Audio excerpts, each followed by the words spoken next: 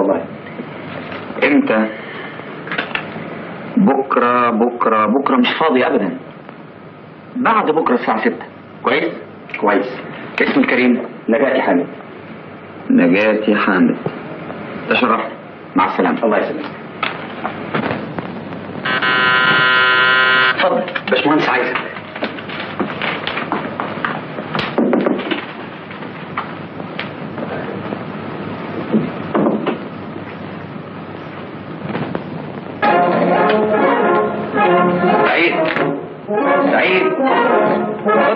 سيجارة ولا علي إيه حكاية النوم دي؟ تعمل إيه يا سيدي؟ الأيام الفقر ديتها النوم ماركتها إيه السيجارة دي؟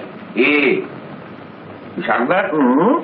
عجباني طبعا بس كنت أتعود عليها تبقى مصيبة اسمع اديني كمان واحدة عشان أفكها بثلاثة من بتوع الشعب اتفضل يا سيدي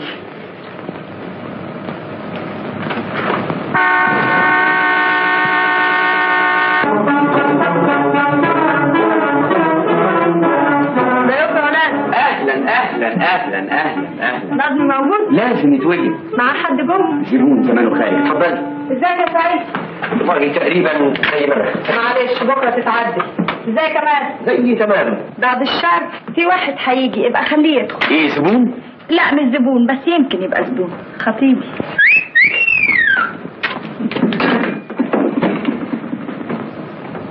مفيش حد غريب. شيل السيجاره وفروا وقت الشغل. أهلا أهلا أهلا. انت وحشتينا قوي أنا رحت لك الصاله كم مرة؟ ما لقيتكيش. إيه كنت فين؟ هقول لك. أصلها اتخطبت. إيه؟ دي أخبار مؤلمة ومفرحة. ليه بقى؟ مؤلمة إذا كان الخطيب فقير. وفي الحالات دي يبقى الجواز نهاية محزنة لقصة حب. عشان فقير يعني؟ طبعا. بالعكس. ده أنا بحبه قوي يا ريته كان فقير. اللي مخوفني منه إنه غني. وغني من غير تعب. يا سلام.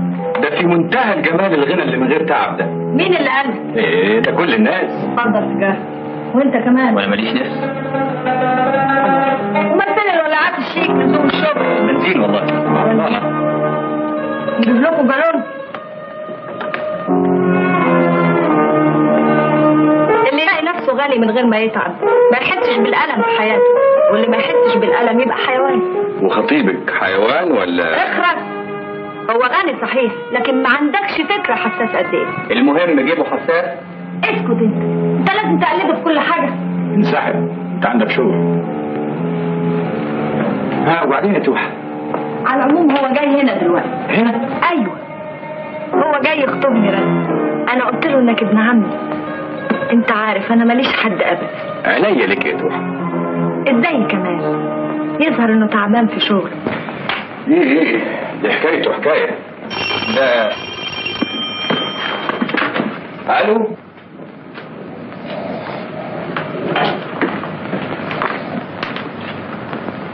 من فضلك.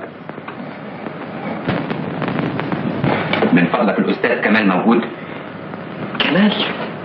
حضرتك. بتسأل عن كمال؟ أيوه. أنت متأكد؟ غريبة هو ده مش مكتبه. مكتب مين؟ كمال كمال شاكر. أهلا وسهلا انت استوعبتنا بالسمع سمع إيه الحكاية؟ ده منتظرك بفارغ الصبر يا أستاذ منتظرني أنا؟ أيوه والله اتفضل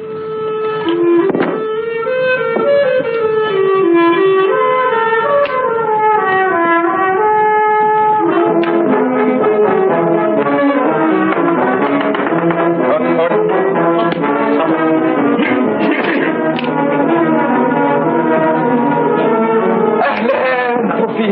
لو مش قادر اتكلم عليك كده قوي ازيك يا كمال أهلا أهلا ازيك انت نبيل أنا جاي لك موضوع مهم جدا. خير. في الحقيقة أنا فكرت في جميع إخواننا اللي اتخرجوا معانا من كلية الهندسة ما لقيتش غيرك أنت للموضوع ده. إيه خير؟ قول لي. تسلفني خمسة جنيه. تصور أنا بقالي يومين بقول للناس إن أنا بطلت السجاير من الفلس. نفس الحجة اللي بعملها. ولا يهمك. طب ما معكش جنيه؟ لو قلت لك إن أنا ما معيش غير قرش ساغ واحد مش هتصدقني. مصدقك. بس انت دلوقتي ثروتك قد ثروتي مرتين إيه ده اخوانا بتعملوا ده؟ دي محاولة لو نجحت فيها أبقى اديت خدمة كبيرة لمصر.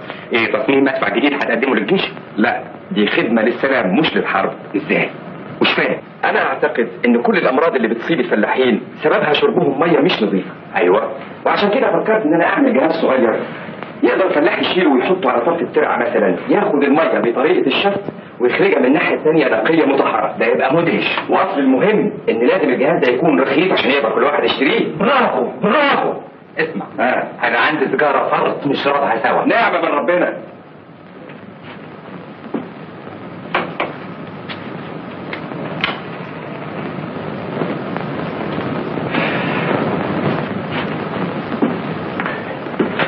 ولع عليه تشربها كمان شوية مش قلت هتفكها بثلاث سجاير؟ لا ده كان زمان. ولع لي من فضلك.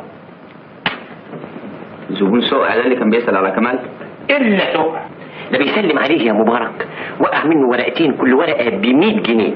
كمال بيديهم له قال له خليهم معاك الحساب يجمع. وده عايز إيه؟ ما تعرفش. ده الميزه بقى. سعيد يا سعيد. اتنين قهوة حالا واحد مظبوط وواحد سكر شوية. حاجة بكره يا عم بقى نركب 10 جرازات. إيدك على أربع ساعة عشان نروح نجيب القهوه ولا أقول لك هات جنيه تحت الحساب. اتفضل يا سيدي. عايز أكتر؟ آه مفيش مانع. هات كمان شرن آه، عشان ما يفكش الجنيه. يبقى وصلني منك 105 والحساب القديم. ده ماله ده؟ بكرة يا عم يترد لك أضعاف الأفراح.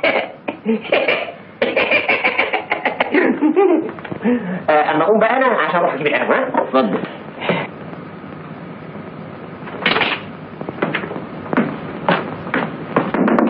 زي ما يعجبك. لا لا مفيش حاجة أبدا. طيب أوفر في يا عبد الرحمن. حادثة كمال عنده زبون. يا جماعة مش كده. حد عارف الأيام هتلف إزاي؟ يمكن في يوم من الأيام يبقى أحسن منكم سيبك انت انت اصلك كده من ناحية كمال عندك عرق حنية. هو ابن حلال قوي ربنا يفتح عليك. لازم دعتي له قبل كده علشان جاله زبون. هنا هنا هنا تعال. روح انت.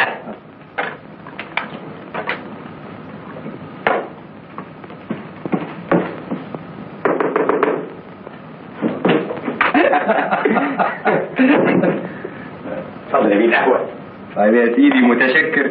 اتفضل اتفضل لا سيبها إيه ده يا سعيد. ال- ال- ال- القهوة اتفضل. إيه ده اللي في إيدك ده؟ القهوة. إيه دي؟ السجاير اللي سيادتك قلت لي اشتريها؟ أنا قلت لك جيب لي سجاير انت مش مديني جنيه لي تشتري سجاير الله. لا أنا سيادتك نسيت بقى. سعيد انت عايز توفيق يفتكر إيه؟ انت الظاهر فاكره زبون. ده جاي يستلف مني فلوس. يستلف؟ آه ماله استلف؟ عيب. لا ابدا. أنا نفسي لسه مستلف دلوقتي. تفتكر من الممكن الواحد يقابل نظمي دلوقتي؟ مش عارف إذا كان مشهور ولا لا. أقول لك تعالى نسأل السكرتير بتاعه. تعالى نجرب عشان أنا عاوز أشوفه ضروري جدا. طيب اتفضل. اتفضل. اتفضل انت لا اتفضل الأول. ما تفرحش ابدا. اتفضل. شكرا بس يكون فاضي. الأستاذ نظمي موجود. سيادتك عايز تقابله؟ إذا كان ممكن. يا سلام بكل مليونية. لحظه واحدة يا واحد فضل هو دايما مشغول عنده زباين كتير. الزبون اللي عند كمال عايز يقابلك. استطره لك وهو خارج كده؟ طيب خليه يدخل.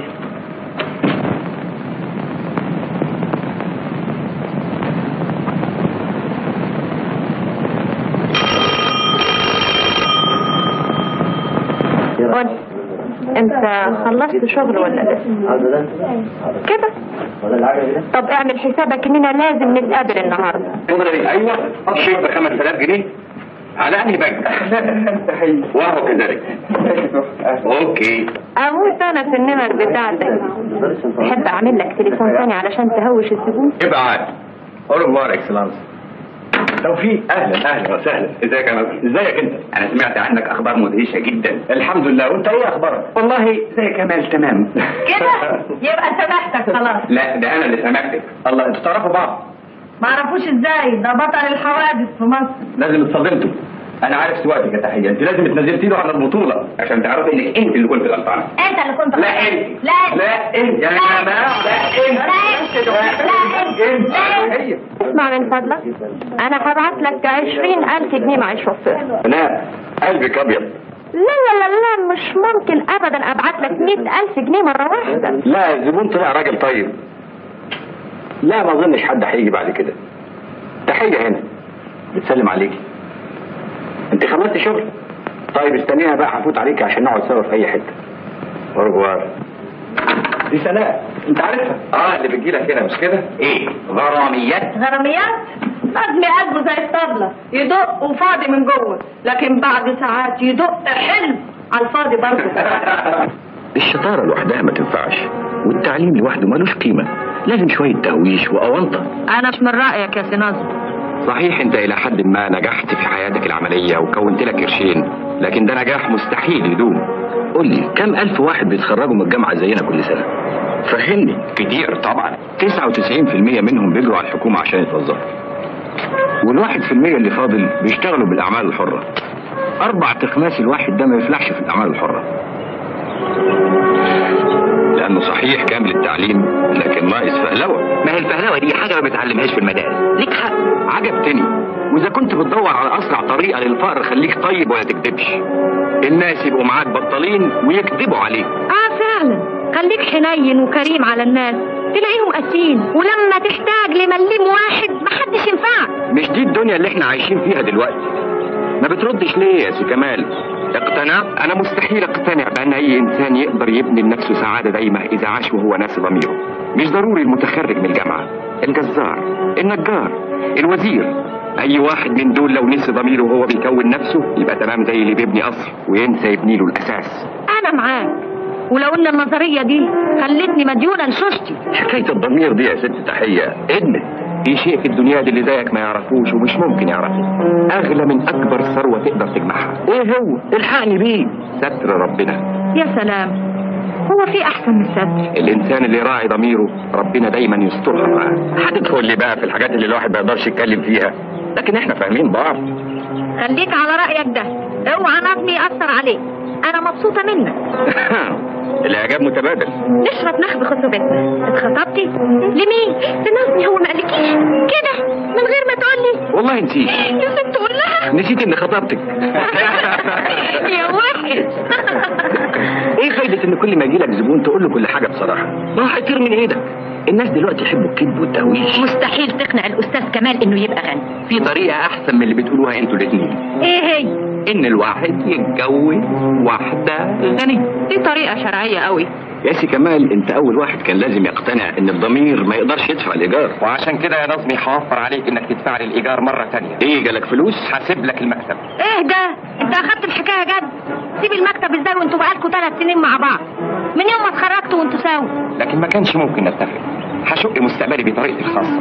مش هنتقابل يا نظمي إلا بعد خمس سنين. وليه ده كله وحتى إذا اتقابلنا في الخمس سنين دول ما نكلمش بعض. ليكن يا أخي. وهنشوف في الخمس سنين دول أنت بذكائك وتهويشك هتعمل إيه وأنا هعمل إيه. كده؟ وهو كذلك. وما عنديش مانع نعمل رهان رمزي 50 قرش ل 50 قرش. امم نتقابل فين؟ هنا برضه. يوم 23 يناير سنة 54 الساعة 5 بعد الظهر. فكرة حلوة. ما تدخلوني معاكم في الرهان ده. من غير مراتك الغنيه وليه لا المهم النتيجة. مم، لقيت بتفتح كلب الهانم. كلب الهانم؟ أيوه. بشر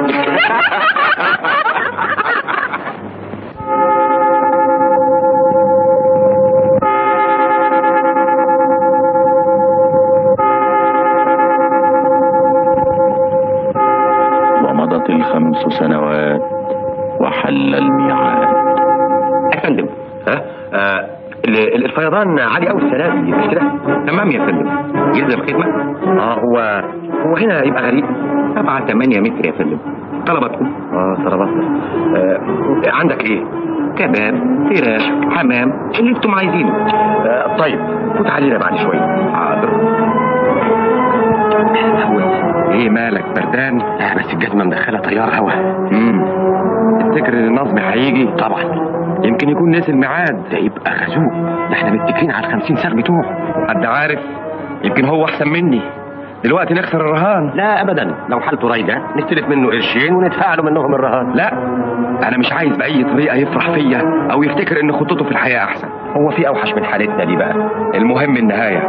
البذرة اللي يزرعها الشيطان تطلع بسرعة وتنقصف بسرعة كمان. لكن دي بذره زارعها جناين نظيف نظيف قوي. قلت لك ألف مرة أنا ما أحبش إنك تضايق أي واحدة في محل عام. اللي زي دي حرام تمشي على رجليها. أمال تمشي على إيه؟ تمشي على قلبي وقلبك و... الله.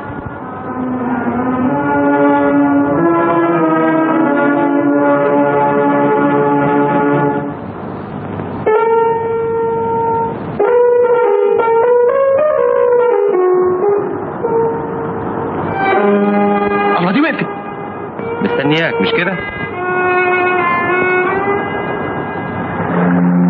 البنت دي عقلها حاجة. وبعدين يا سعيد خليك معايا.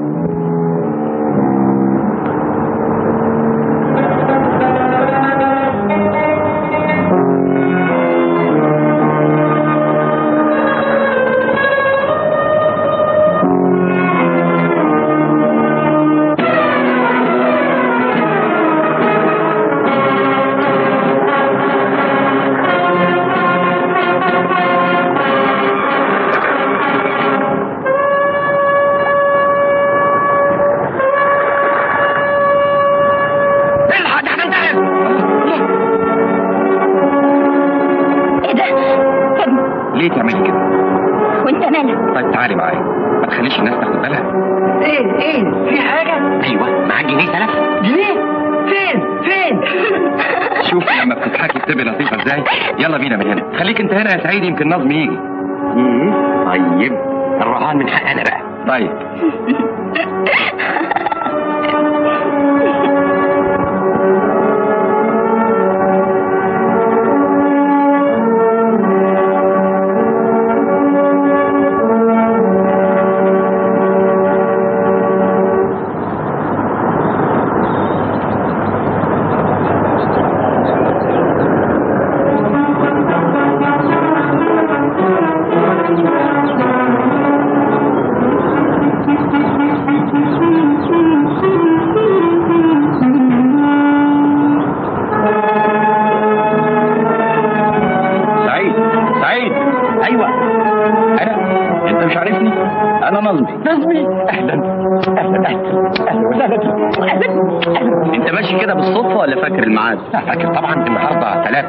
يناير سنة 54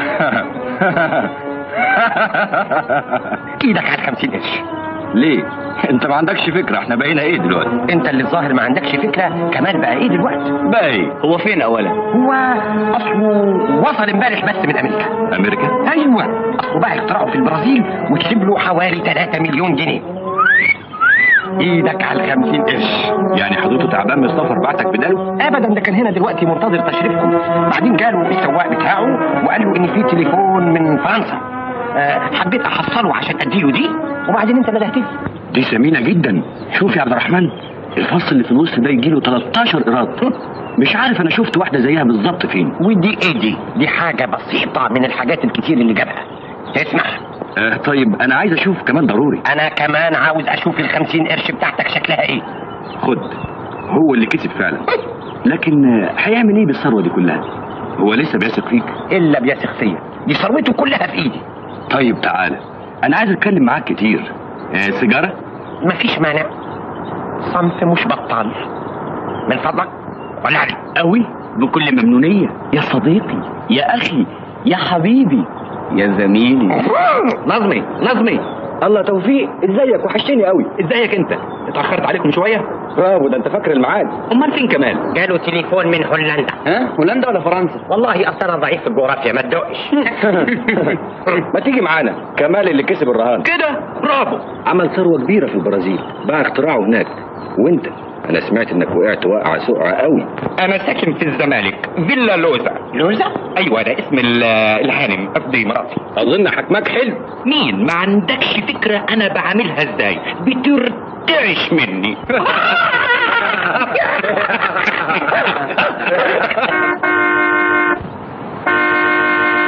عن اذنكم وصلوني للزمالك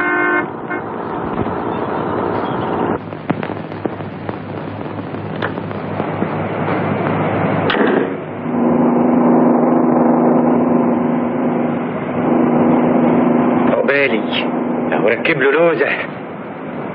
وأنا متأكد إنك لو رحت البيت دلوقتي ونمتي بكرة الصبح هتندمي. أنت شخص غريب. ليه؟ أنت تعرف عن حياتي حاجة؟ لا. عرفت منين إن بكرة هندم؟ إيه الفرق بين بكرة والنهاردة؟ ربنا بس هو اللي بيعمل الفرق.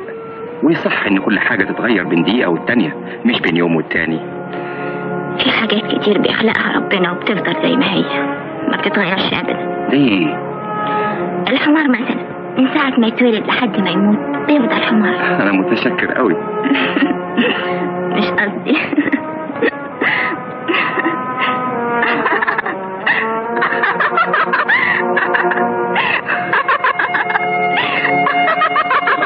مش كده. عايز عايز تقعد من الضحك ولا وبعدين بقى؟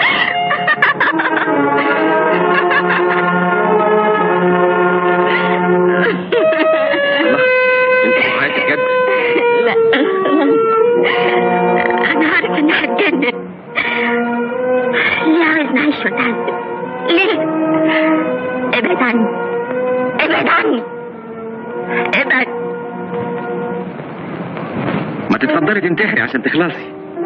انت عاوز ننتحر؟ ليه؟ اما حاجة تجنن صحيح. طب ما تنتحريش يا ست. لا هنتحر. والظاهر ان نهايتي أنا اللي قربت. نهايتك انت ليه؟ لأن راسك ناشفة ويمكن تعمليها وترمي نفسك في المية حاجة عشان أنقذك. هغرق أنا كمان لأني ما بعرفش أعوم. أنت النهارده عملت فيا أكبر جميل. بقالي سنتين نسيت فيهم الضحك شكله إيه. قولي لي. انت بتحبي؟ يا ريت أنا بكره. اللي بيحب يخاف من سيرة الموت. عاوز حبه يعيش ألف سنة. بتكرهي مين؟ بكره نفسي. بكره حياتي كلها. أبوكي عايش. أيوه. بتحبيه؟ هو كل شيء ليا في الدنيا. أضحي عشانه بأي حاجة. بيشتغل إيه؟ عنده شركات كتير. هو متضايق ماليا؟ بالعكس ده من الأغنياء المعدودين في مصر. متجوز غير والدتك؟ ماما ماتت وأنا صغيرة. ما اتجوزت بعدها. عشان بيديني كل حنان. انت ما تتصورش بابا بيحبني قد إيه؟ شابة جميلة زيك. أبوك بيحبك وغني زي ما أنت بتقولي وبتحبيش حد وانخدعتي فيه. أمال عايزة تنتحري ليه؟ اسمك إيه؟ مش مهم اسمي. مش جايز نتقابل بعد كده؟ ما أظنش لأني رايح الجنة. يعني قصدك أنا رايحة النار؟ أي واحد ينتحر يروح النار. أرواحنا دي ملك ربنا مش ملكنا إحنا. فعلا. أوعدك بشرف اني مش هفكر في الانتحار بعد كده. انما زي الأيام صممت اني انتحر ادبيا. يعني أموت وأنا لسه عايشة. هعمل كده. أنا مش فاهم قصدك. مفيش فايدة إني أفهمك. ده موضوع ملوش حل ابدا. أنا متاسفه إذا كنت ضايقتك يا أنت ليه مش عاوز تقولي على اسمه ملوش لازمة. مش هشوفك بعد كده. وحتى إذا شفتك هعمل إني معرفكيش قبل ما تتجاهليني أنت. عشان إيه ده كله؟ أنت بنت راجل من أغنياء مصر المعدودين زي ما بتقولي. وأنا من الفقراء اللي ما بيتعدوش. أنت فقير؟ ليه لا؟ لكن باين عليك راجل متعلم. 70% من المتعلمين ملهمش ثروة غير الستر أنا معايا فلوس مش كتير. يبقوا 39 40 جنيه. أنت ساكنة فين؟ في جاردن سيتي شارع الشرفة نمرة سبعة طب اديني جنيه بس تاكسي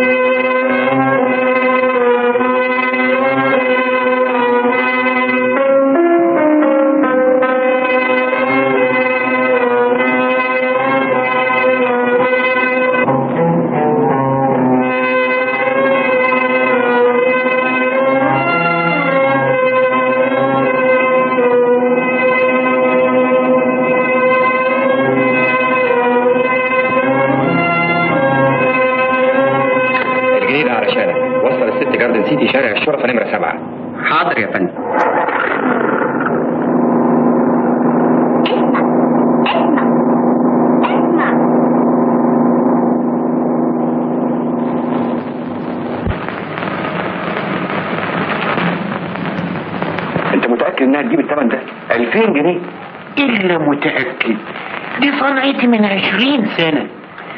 الألماظ اللي في الإسويرة دي ما تلقاش ميته في ألماظ الأيام دي أبدا. دي صنعة قديمة تحفة. طب متشكر هفوت عليكم بكرة إن شاء الله. شرف يا فندم. ليلتك سعيد مع السلامة.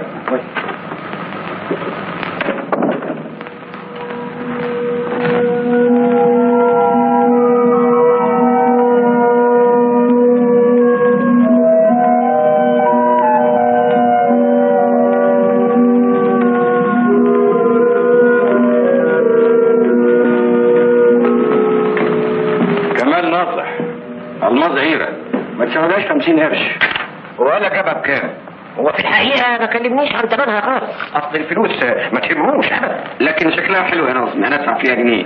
إيه رأيك يا سعيد؟ جنيه؟ حتة واحدة. 50 جنيه إذا حبيت. لا يا عم. يفتح الله ولا مليون جنيه. لأنها مش بتاعتي. لك حق. اسمع سعيد. أنا عايز أكلمك في موضوع مهم جدا. خير. لو طوعتني هتكسب منه ثروة كبيرة. معقول؟ وبطريق شريف. مش معقول. أنا بكلمك جد الله. هو شيء لسه ما جاش؟ روح عبد الرحمن استعجله آه حاضر صلاحة يا عبد الرحمن حط لي عليه نعناع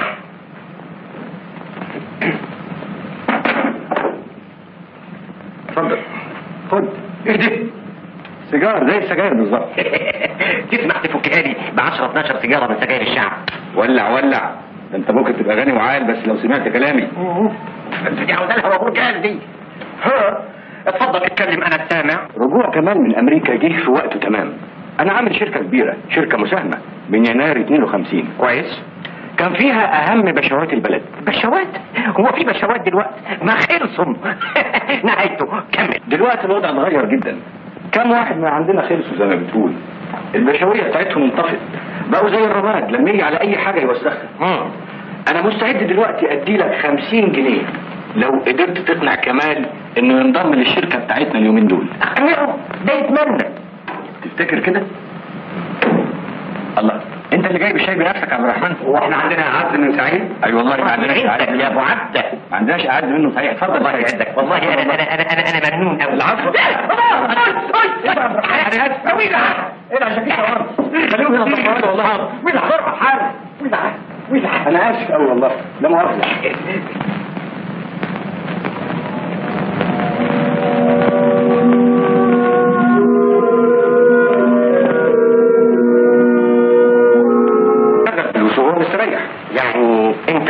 ينضم ده تقدر تقنعه انضمام مجرد انضمام كفاية. يا ريت.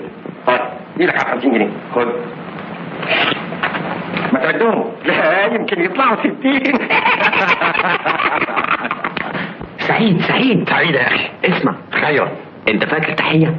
تحية تحية تحية. آه تحية. ما اعرفهاش تحية اللي بترقص اللي اتخطبت لواحد غني. آه إزيها؟ خطيبها سابها وفتحت ركن جميل في شارع الهرم بترقص فيه. هنتقابل هناك مع كمال وهنجيب كل أعضاء مجلس الإدارة. إشمعنى عندي تحية؟ أهي دي فكرة نظمي وأنت عارف إن كمال من ناحيتها حنين شوية هيسهل لنا الأمور. صح. تمام. اويفوار عندي تحية عندي تحية.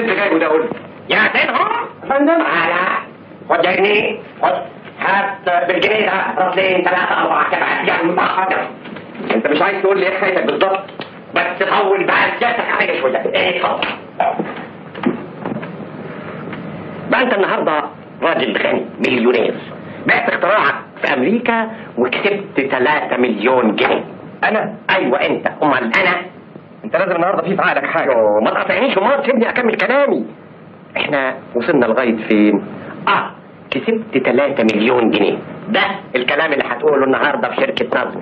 هو جه في الميعاد؟ برضه بتقاطعني. آه فهمت. أنت عايز ترتب عملية نصب. لكن أنت عارف أنا ما بعملش حاجات زي كده ابدا. نصب؟ أعوذ بالله. يا أخي دي مسألة اقتصادية فنية علمية تجارية فلكية. كل الناس بتعملها. إيه هي دي؟ برضه بتقاطعني. مش تسيبني أتكلم. في محل تجاري تبقى حالته المالية زي الزفت والبضائع اللي فيه ما تجيبش حاجة ومع ذلك اسمه التجاري يساوي ألوف الجنيهات. وبعدين انت اسمك عظيم عظيم جدا. الشركة هتكسب من انضمامك ثقة الناس. المسألة مش عاوزة أكتر من انضمام. وهو معقول يقبلوني دول بيترجوني إنك تيجي مجرد انضمام. ولا طلبوا فلوس يا دار ما دخلك شر نقول لهم إحنا كنا بنهزر. طب وإيه الحاجات دي كلها اللي أنت جايبها؟ مهندس عظيم ومخترع. هتروح كده. المظاهر بتفيد. أنا اشتريت لنفسي بدلة. أنا من هنا ورايح مش هلبس ثلاجات وإنت أنا جبت لك بدلة بقى غير بتاعتك شوف يا عمي قيس اتفضل. اولا قول لي جبت الفلوس دي منين؟ اولا تقف تقيس البدلة وتشوف مظبوطة عليك ولا لأ وبعدين نتكلم في حكاية الفلوس. هي دي فلوس يا راجل. ده أنت بكرة هتبقى غني جدا. ده الذهب ده هيجري من تحت رجليك.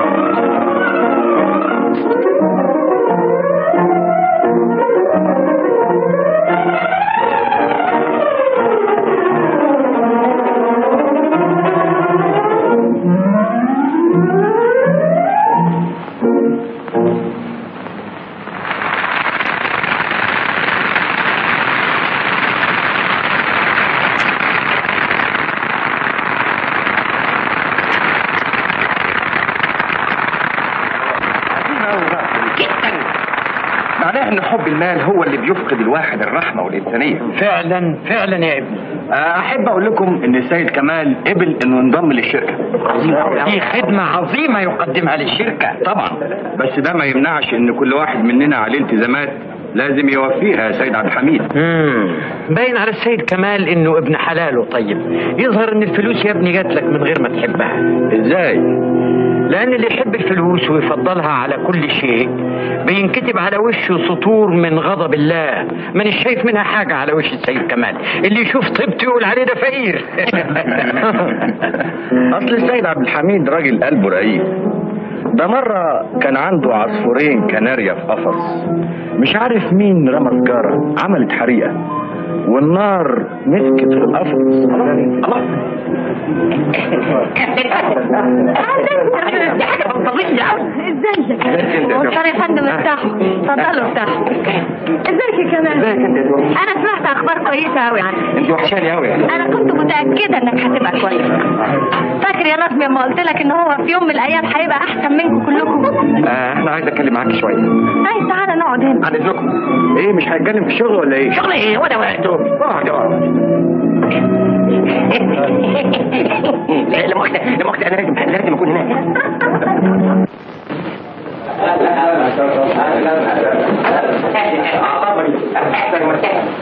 ده اضخم مشروع لمصنع في الشرق الأوسط. كده؟ ده مصنع إيه ده؟ طول بالك. لا ده سؤال وجيه جدا. ما أقدرش أقول لك بالظبط ده مصنع إيه. عظيم عظيم جدا. فعلا عظيم.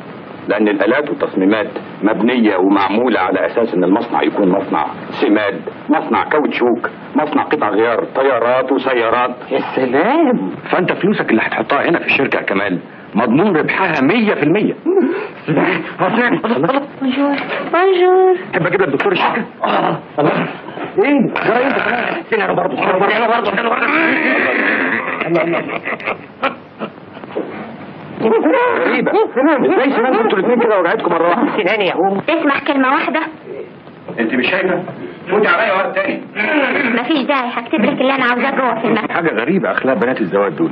خلاص الوجع ماشي إيه الحكاية دي ده مرض بعيد عنك يجي كده وفجأة في الإنسان و- ويروح لوحده اسمه اسمه آه، اسمه الفارفوبيا اسمه إيه الفارفوبيا آه، اي حاجة اي حاجة آه، أنا خايف لا أنا كمان لا لا ابدا ده مش مرض مطلقا ده ده مرض مستأنف الوجع هيبقى يعني يعني آه آه آه أنا سبت لك ورقة على المكتب طيب يا ستي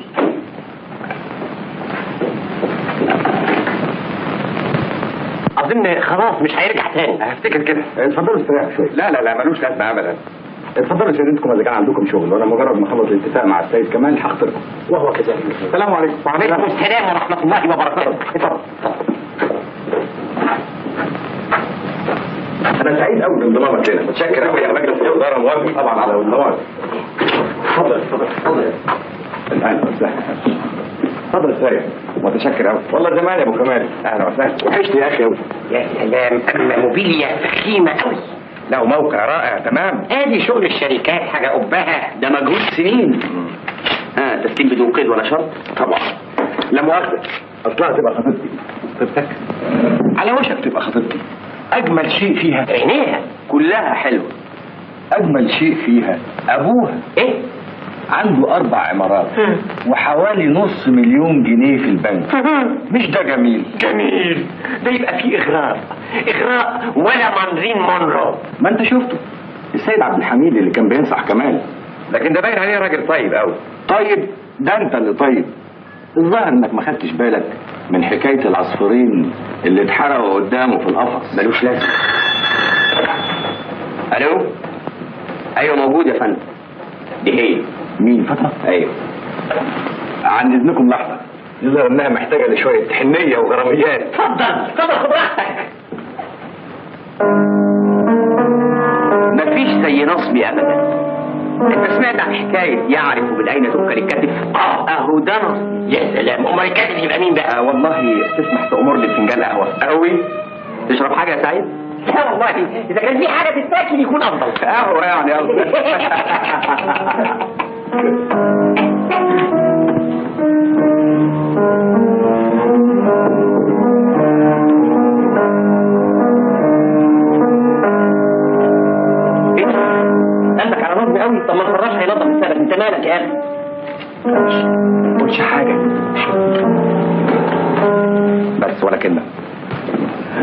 وشكم حلو. أنا عازمكم يوم الخميس الجاي على حفلة الخطوبة الرسمية. كده؟ مبروك. الله يبارك فيك؟ انت بتحبها يا نظمي. الحب ده شغل التلامذة مش ضروري تلامذة في مدرسة قصدي تلامذة في الدنيا.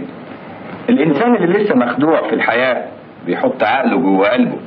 لما الإنسان اللي اتخرج من المدرسة دي خلاص بيحط قلبه جوه جيبه. طيب واذا كان جيبه مخروق؟ يرسيه عند واحد زي سيد عبد الحميد.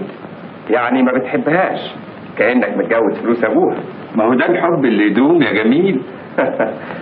على فكرة إزاي سناء؟ سناء.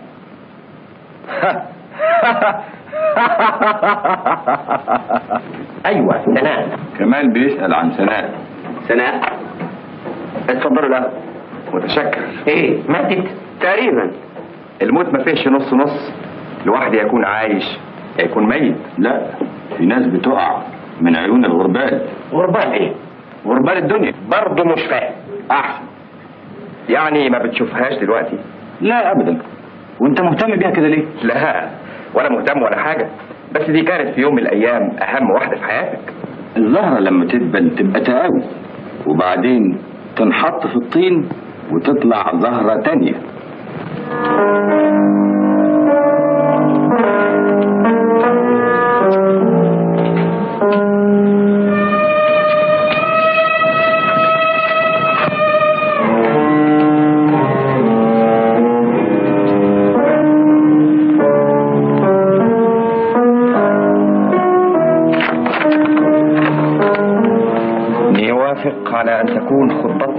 الخميس القادم كما تريد أنت وأكرر لك احتقاري وكرهي. إني لم أفعل ذلك إلا من أجل والدي المسكين الذي فهمت أنك تهدده بشيء لا أعرفه. سأترك انتقامي لله. فاطمة. سعيد. اسمع تعال آه فقر كوريا. الظاهر البنت المسكينة دي في مشكلة فظيعة وقعت فيها. أنا نويت أروح يوم الخطوبة. وقعت؟ وقعت من عيون الغربان.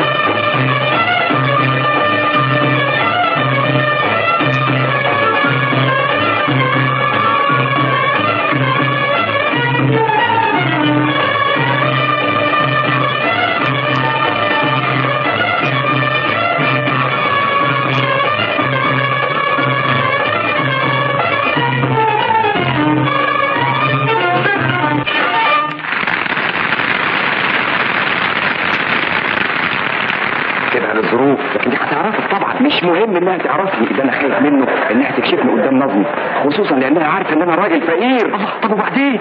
برضه سيبها للظروف. ما تخافش. معاك أبو سعد كده؟ ما أنا جاتني فكرة؟ إيه؟ أنا بتشيب الكتكوت. الحقني بيها قول لا سيبها بقى لما تستوي في دماغي.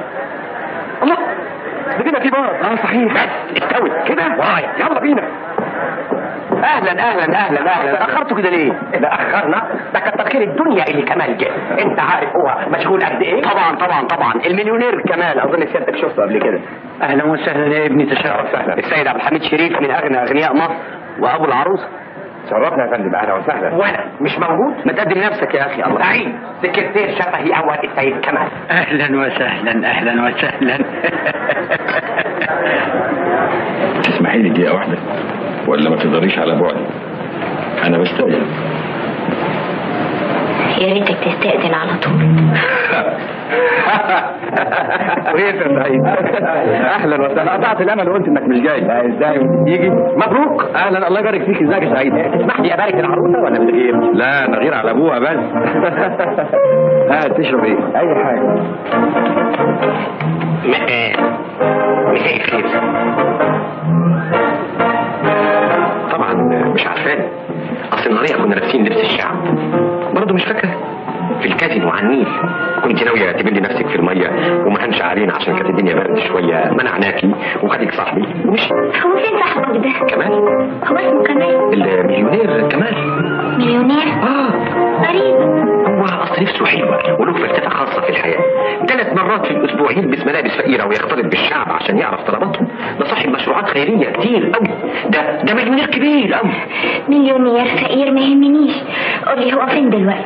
اللي واقف مع والدك هناك ده. عن اذنكم اتفضل كنت برضه حاسة إني هقابله بعد كده. كمان يا فندم من يوم ما شاف حضرتك دايما يتكلم على حضرتك. بترغي تقول يا سعيد. لا ده أنا كنت بهنيها وبشرح لها محاسن عدم الزواج. سعيد ما يبطلش ضحك أبدا. أول مرة أشوفك بتبتسمي. عال عال دي بشرة خير أخبار جميلة. إيه إيه خير؟ محطة اذاعه إيه؟ لقوا علاج جديد لمرض الفقر مرض إيه؟ الفقر فوبيا أما أنا محضر لك حكاية مفاجأة إنما هتبسطك أوي وتخليكي تضحكي اسمح لي إيدك الحلوة. الأسورة دي أنا جبتها لك مخصوص من فرنسا. اوعى تفتكري إن أنا عايز أتجوزك علشان مال أبوك. يمكن الفكرة دي كانت عندي في الأول. لكن مع الأسف ابتديت أحبك. مش مصدقاني الأيام لك إني حبيتك فعلا. والا ما كنتش ادفع 3000 جنيه. ثمن الاسوره مش عايزه تشوفيها ليه.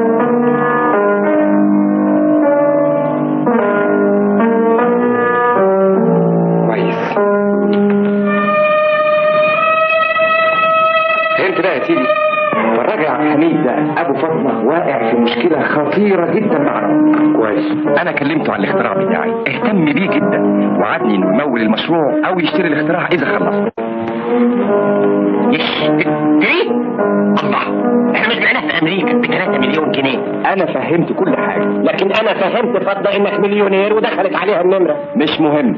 البنت دي اتضح إنه بالرغم من غنى أبوها الفلوس ما تهمهاش ابدا. لكن أنا ملاحظ إنك مهتم بيها زيادة حبتين كده. هي في الحقيقة صعبانة عليا شوية بس يا سلام برافو برافو. إزاي كانت غايبة عني هي مين المعادلة الغريبة دي. أول ما جبت سيره فاطمة عرفت السر. سر إيه؟ اختراع معادلة غريبة لكن صح الحمد لله. الحمد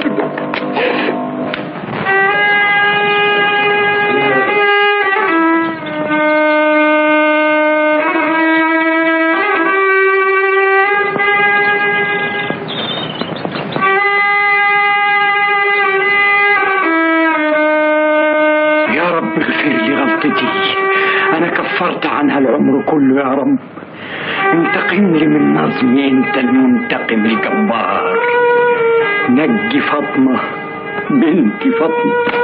نجيها وساعدها يا رب نجيها وساعدها يا رب.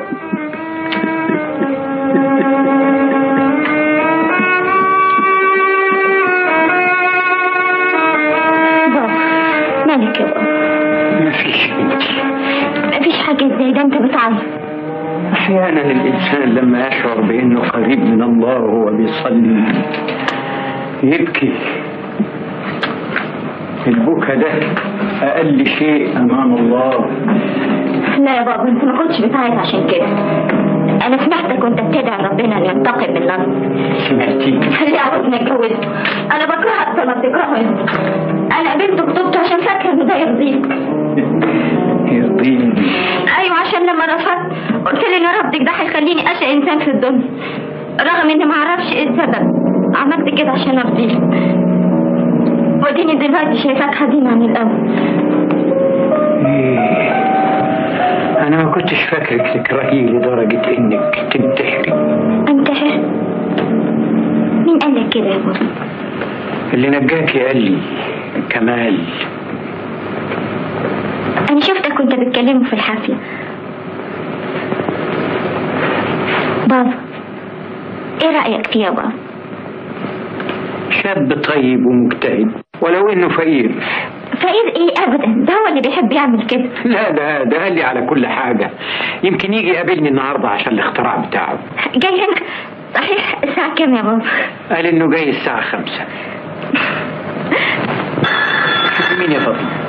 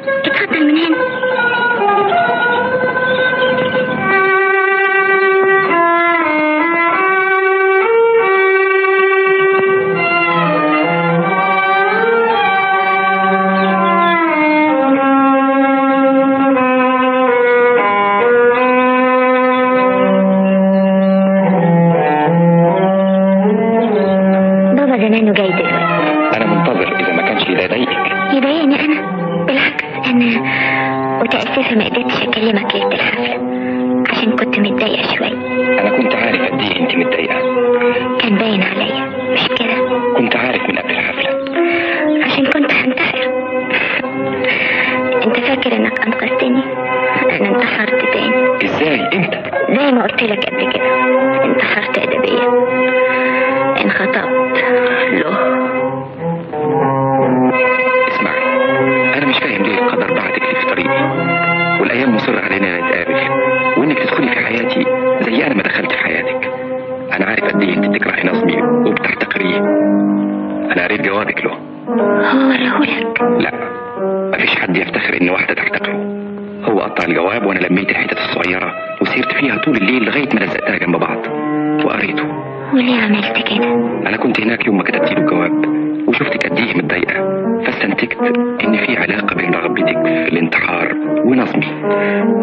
ربنا ينتقم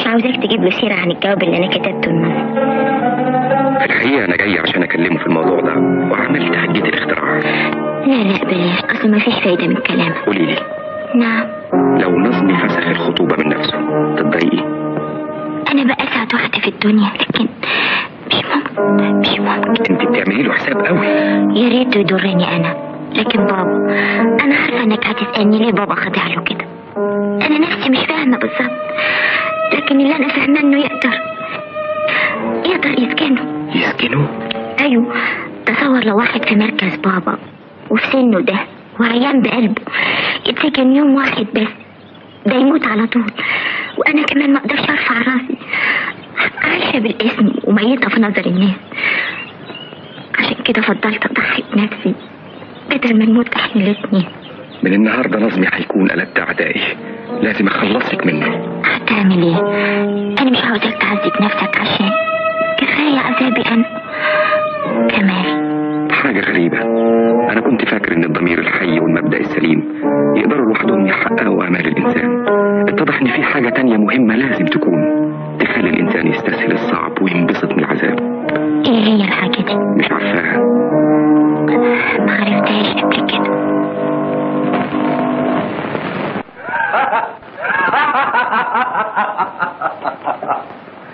خلتني أنا كمان عيطت من كتر الضحك. بقى مسح لها دموعها بمنديله. يا عيني! مساء الهوا يا شباب.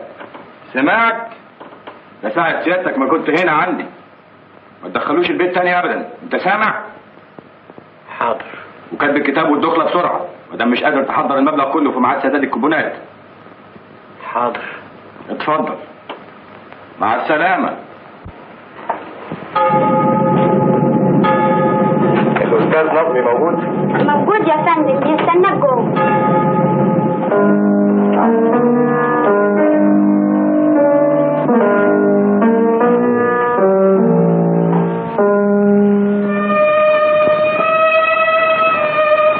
أهلا جيت في وقتك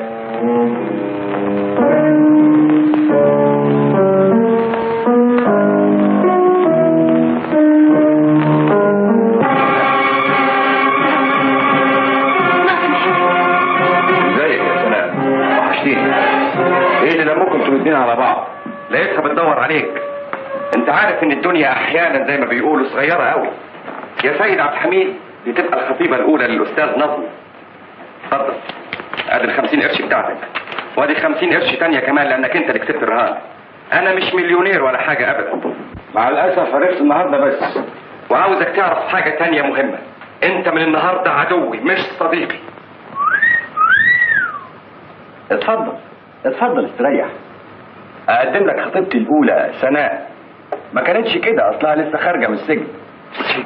أنا عارف إنك بتهدد السيد عبد الحميد بحاجة. نتيجتها السجن علشان تبتز امواله لكن بنته ذنبها إيه علشان تعذبها؟ أنت بتحب فاطمة. أنا عارف كل حاجة. لكن ده ما يهمنيش ما دام هتجوزها. مش ممكن هتتجوزها. هي نفسها ما تقدرش تقول لا. أنا هوري لك كل حاجة عشان تطمن.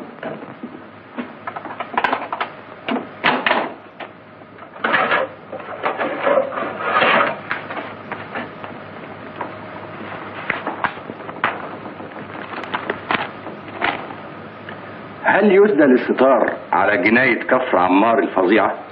لا زالت الطفلة مفقودة. يبقى جناية القتل الشنيعة التي ذهب ضحيتها عروسان لم يمضي على زواجهما عام فقد قتل. وأراد المجرم أن يضيع معالم الجريمة فحرق المنزل وكانت النيابة قد قبضت على شقيق القتيل وهو السيد عبد الحميد شريف. لأنه قيل أن الزوجة القتيلة كانت مخطوبة له. وهربت مع الأخ الأصغر الذي قتل فانتقم منهما السيد عبد الحميد. والغريب في الأمر أن الزوجة وضعت منذ أيام طفلة لم يعثر لها على أثر بين الرماد. وقد أفرجت النيابة اليوم عن شبه بنتك. مفيش كلام. صورة طبق الأصل. ما هو الشبه ده هو الدليل الأكبر على الجناية. جناية إيه؟ العناوين ظهرت النيابة تفرج عن عبد الحميد شريف شقيق القتيل لعدم كفاية الأدلة. لكن ده فات عليها مدة طويلة أوي. فعلا فات عليها مدة طويلة. لكن فاضل أيام معدودة وتسقط بمضي المدة. وقبل ما تسقط هتجوز فاطمة أنت فاكر حكاية العصفورين الكناريا اللي اتحرقوا في القفص مفيش داعي تعذيب يا نصر كل اللي انت عاوزه حطوله. البنت هتتجوزها. عاوز إيه تاني؟ أظن بعد كده الأفضل إنك تنسحب بشرف. شرف؟ أنت آخر واحد يتكلم عن الشرف. مش هنسحب من هنا مهما كانت الظروف. طب انسحب أنت. اتفضل. حاضر. السلام ورحمة الله وبركاته. اقعد يا ما تزعلش نفسك كده. خليك في فورم مال أنا لما عرفت إنك كسبت الرهان ما زيتش هقول لك كل حاجة عشان تستريح السيد عبد الحميد. كان أقوى واحد في بلده.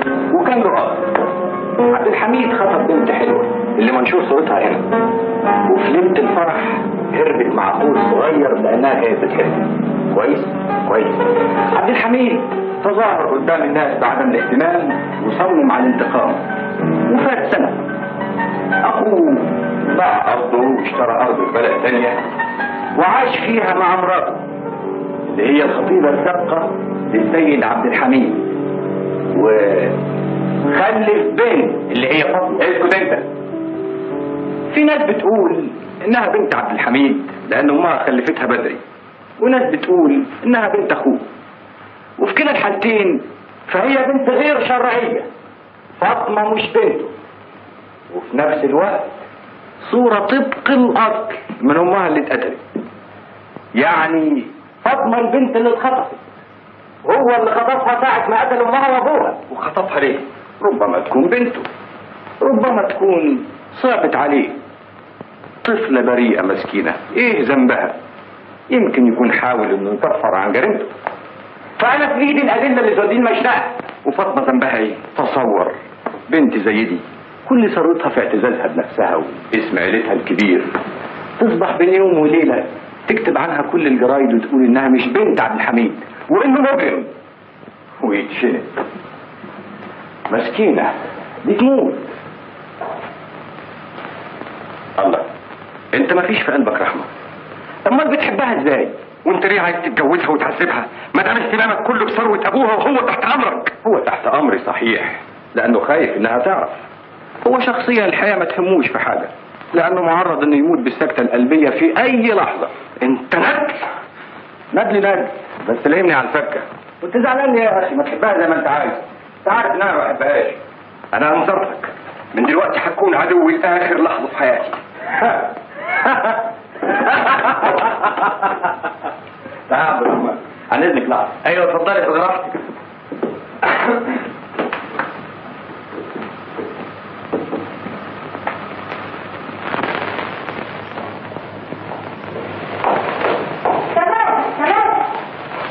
أيوه الله إيه ده مالك؟ مش عارف الحياة يا كانت كريمه انت كنت عضلاتني يا ريتني ما عرفت في يوم من الأيام تصوري انه بيهدد ابو فاطمه في السجن عشان يسترجع امواله بيهددوا بايه؟ دي حكايه طويله المهم المستندات اللي تحت ايده شايلها كلها في الخزنه كده ان شاء الله يكون شايلها بسبع ارض ولا يهمك روح انت وكانك ما شفتنيش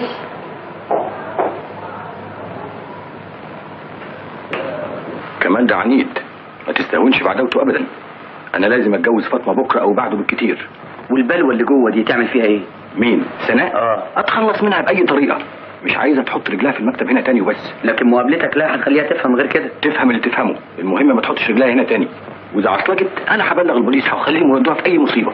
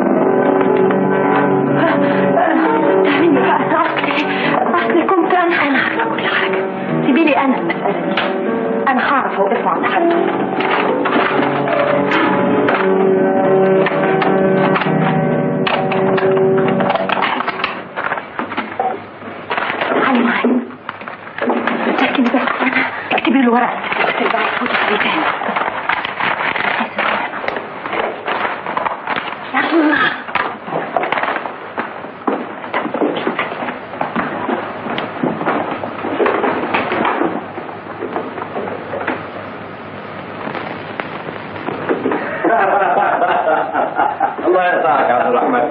النهار وصول الشغل. الله. يا سنة راح فين الله.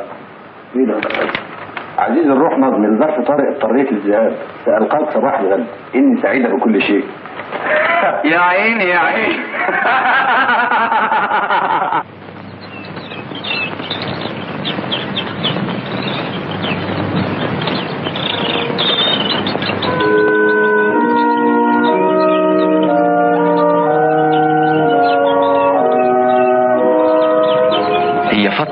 هتتجوز النهاردة؟ أيوه ما أنت عارف. هتتجوز نظمي مش ممكن الجواز ده يتم.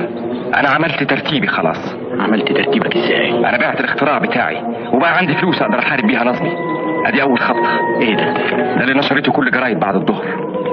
قدم السيد كمال طاهر بصفته من كبار المساهمين بلاغا ضد شركة معروفة يتهموها فيه بالنصب والاحتيال أنت اللي و... قدمت البلاغ؟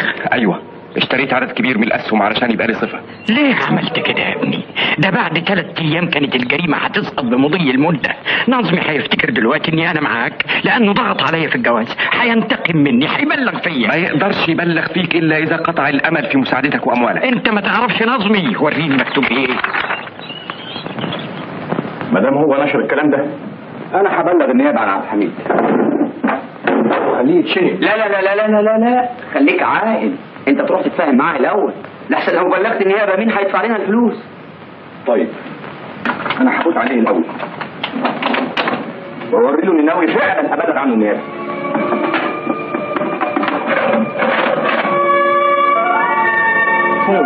ظرف إيه؟ الظرف اللي فيه الجريدة والمستندات. مفيش. أنا حاطه هنا. إزاي مفيش؟ أنا فهمت. أنت ليه دلوقتي ما كنتش عايز نفتح الخزنة؟ قصدك تقول إيه؟ وليه كمال وعبد الحميد اتجرأوا وعملوا كده؟ نظمي. اشتروه. أنت مجنون. Thank you.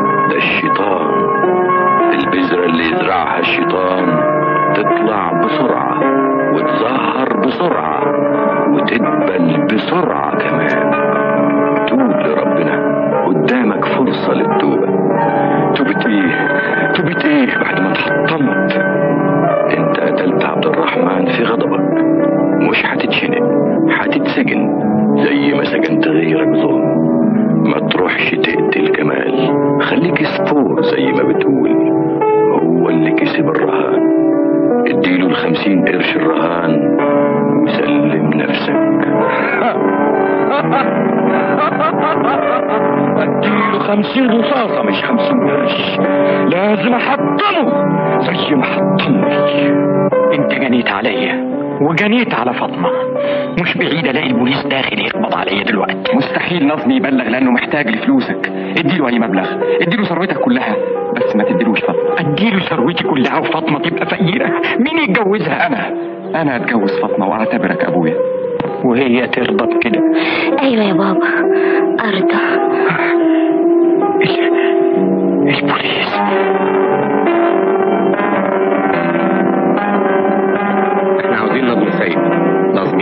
هنا. عارفين إنه هنا. والتستر على متهم بالقتل جريمة. متهم بالقتل قتل شريكه عبد الرحمن وقبل ما يموت الشريك قال لنا إنه هنا. تسمح نفتش البيت؟ اتفضل. أنت من هنا وأنت من هنا وأنتم تعالوا معايا. تحية. إيه اللي جابك؟ جيت عشان أديك الظرف ده. فيه كل المستندات اللي تهمك تحية أنا فضل كله لسناء. هي اللي ورتني طريق البيت. أنا متشكر قوي يا تحية. استنى من فضلك اولا قدم لك خطيبتي مدموزيل سناء كده مبروك. إيه اللي حصل؟ قدامي